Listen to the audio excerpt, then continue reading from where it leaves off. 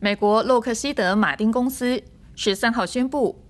我国空军正式采购两具狙击手瞄准夹舱，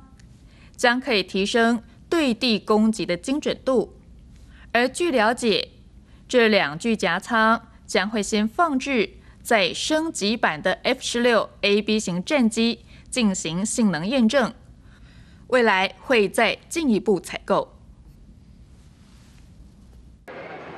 在台北举行的国防工业展，美国洛克希德马丁公司展出一款名为 Sniper 狙击手的新型瞄准夹枪。它透过红外线和镭射光，能精准标定敌人地面目标，大幅提升空中对地攻击的准确度。公示采访团队去年在美军环太平洋军演中就拍摄到多架美军 F 十五战机都配备有这项配备。洛克希德马丁公司也在十三号发表新闻稿表示，已经和我国空军签约，台湾将成为第二十个使用这项配备的国家。各级。也认为，这对于正在进行性能提升的我国 F 十六 A B 型战机战力更有帮助。